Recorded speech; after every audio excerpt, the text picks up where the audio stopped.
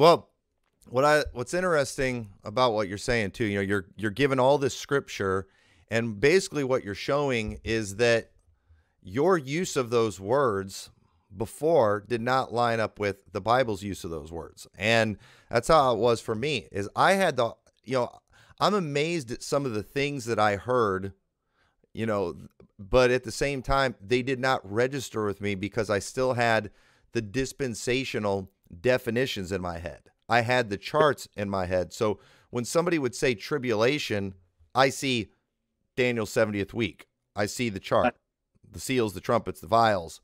Um, you know, the the words of God are not what formed my thinking of those words. It was the theologians, it was the charts, because again, yeah, if the words of God form your thinking, we see constant reference to us going through tribulation, you know, and you know, but so when you start letting the Bible define your terms and define your thinking, it's a completely new thing. And what's frustrating too, and I'm sure you deal with this, is how people, you know, what we've done, what we've had to do is we've gone to a more biblical uh, terminology, a more biblical approach to how we explain things in our definitions but in the dispensational world, they will not let go of those definitions. And so no matter how much we prove to them tribulation and wrath are different, and how no matter how much we show them, well, no, we believe that the rapture goes comes after the tribulation based on a verse that says after the tribulation.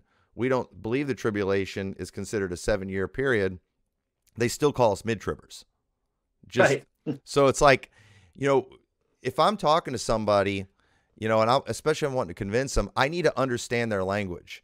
And so either yes. they don't understand our language or, you know, and or they're being stubborn and they have to admit we are sticking to our Clarence Larkin language right. rather than Bible language. Because without a doubt, Larkin and the Bible use those words differently. There's no question about that.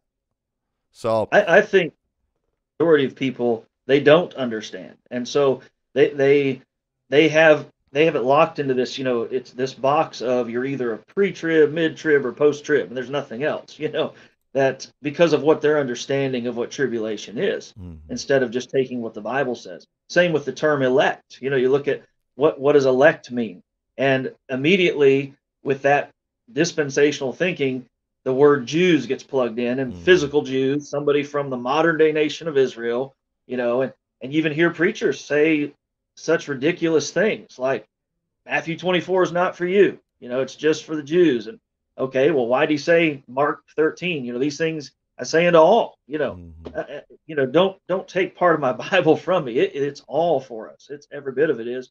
But the point is that it's because of a misunderstanding of those terms, of what those terms actually mean biblically. Right.